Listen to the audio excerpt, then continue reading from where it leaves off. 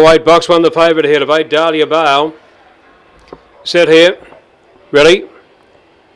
Racing tick along away on the inside, jumped away well. Sailaway Jackie up the centre, great speed to go to the lead, settling down over Longview Bell. They're down and out on the first turn. There would have been Noosa Jet as they swing down the back straight and shooting clear in the lead is Sailaway Jackie. Going down the back straight and Sailaway Jackie moved away. It sailed away. It's a dozen out in front over Donna Chaser, followed by Tick Along Away.